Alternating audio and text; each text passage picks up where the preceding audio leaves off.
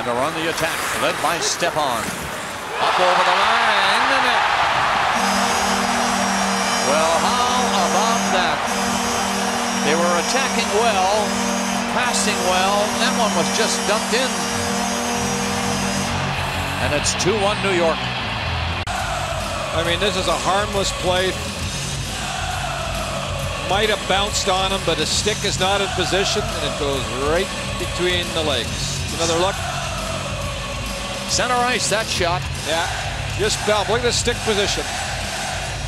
And that's got to be, I mean, he's got to have his stick in position there. It just squeaks right between the legs. Bounce or not. Oh boy, that's a tough one for the Leaf goalie. I'll say.